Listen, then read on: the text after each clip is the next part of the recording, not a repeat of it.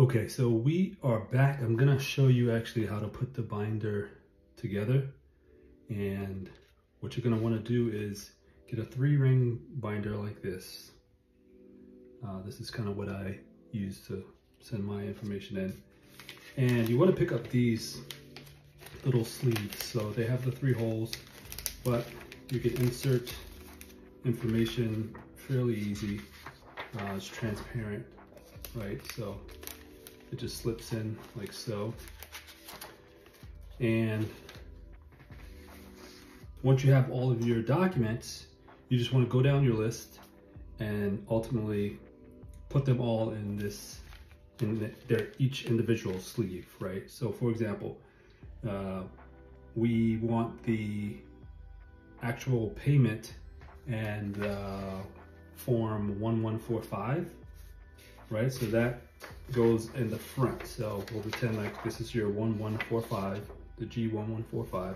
This is your check. And all you're gonna do, here's some paper clips because they don't like stapling. You'll just paper clip it like so. And we'll insert it just like this. This will be your first your first page. Right? Your first page. Okay, so your next item, right, is the actual petition, the form. So what you can do is you can paperclip this if you'd like.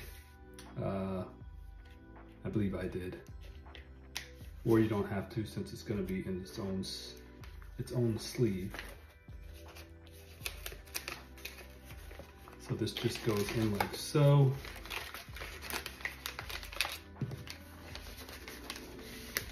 Again, I, I mean, I felt this was much more organized than some of the other options. But there. So for the supplement items, so that's like the, if you didn't have room, if you had enough room on the towards the end of this document, then you don't have to do this next step. But this is if you had to provide extra employment, uh, if you had to answer some of the extra questions, then this is what the supplement uh, document would kind of look like. You would type in or, uh, or write in kind of your additional answers here. And then you can put this in its own sleeve as well. So that way the agent that's re reviewing your information, they know that this is additional information and it goes with your uh, 129F form. So that's another page. And you just continue on. So I want to actually show you the G135 so we'll pretend this is the G135A. And what you're gonna need is those passport photos. So as you can see here, I have a, a mock-up. So photo one, photo two, and you will have to get these and your future spouse will have to get these as well. So the way you're gonna attach these is just right here in the corner. And again, paperclip, paperclip. I highly recommend paper clipping everything. It'll make the agent's life a bit more easier.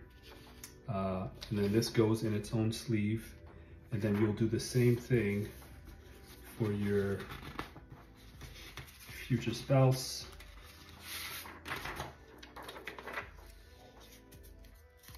Photo one, photo two,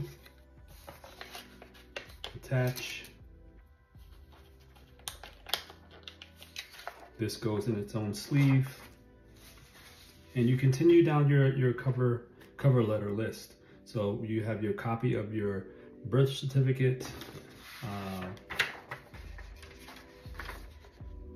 this is the copy. We'll put that in its own sleeve uh, with the letter certifying that you intend to marry. So again, it can be on uh, a loose leaf paper or paper like this, you can type it out, print it, or you can just uh, write it, uh, try to use black ink, but you can just write it out that you intend to marry this person uh, within 90 days of them entering into the US. Um, and then you put this in its own sleeve. And then we can go on to the proof. So proof of your relationship for the last two years.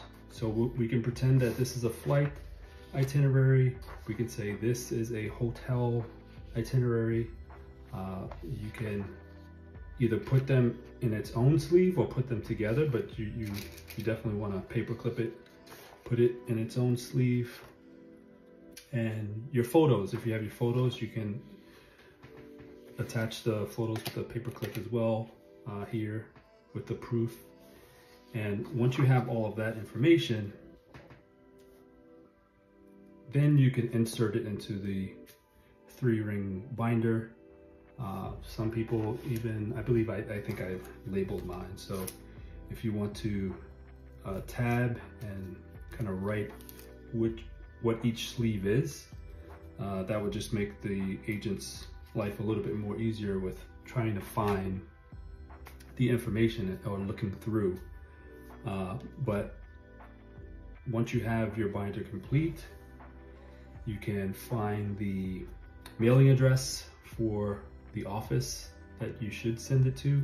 I believe those are on the instructions, but this is how, this is kind of the binder that I used.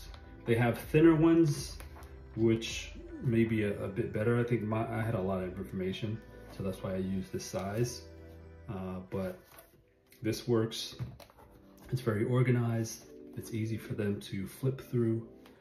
They can take it out if you paper clip it, if you staple it, then they have to take off the staples. But that's how you complete your binder and hope this helps. Be patient and you guys will get through this. Thanks for watching. Peace.